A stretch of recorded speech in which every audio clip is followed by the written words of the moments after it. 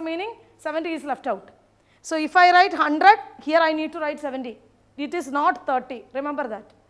If it is written 70% left out, I mean 70%, 30% left out, then only you need to write what is left is 30 here. Here it is 30% completed means what is the amount of reactor left out is 70.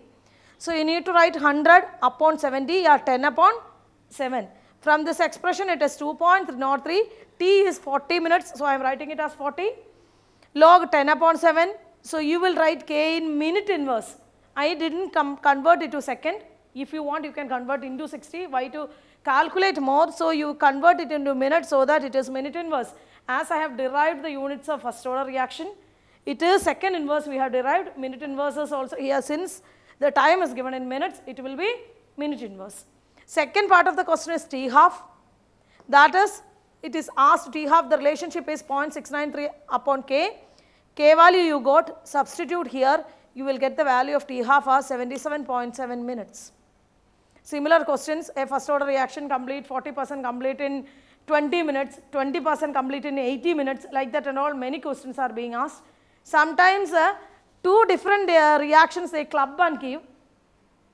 A first order reaction 30 percent complete in 20 minutes, how long it will take 40 percent to complete. Like that also questions will be given. In that case you need to calculate k, substitute k is constant for both the equations, substitute you get the value. Here second question, this is uh, based on Arrhenius equation. The rate of a chemical reaction quadruples means K become 4K when temperature changes from this to this.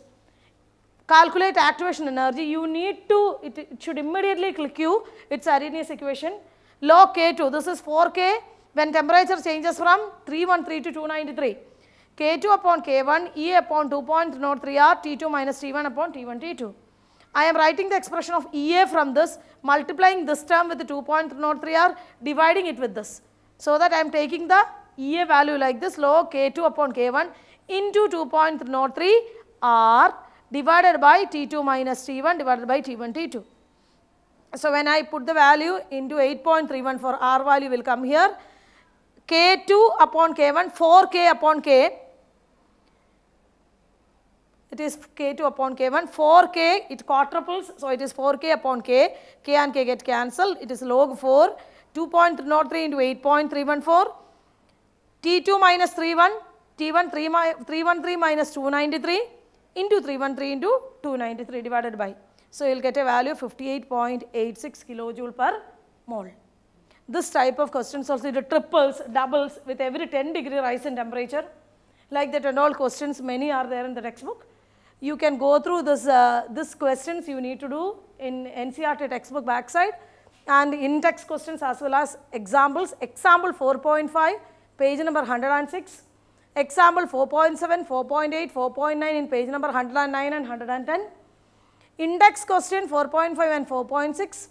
Then example 4.10, 4.11 in page number 114 this many questions you have to do. Apart from that textbook backside which all numerical related to this which we have solved has to be done because this is sure short question board examination. Hope you understood what I told. All the best children. Thank you.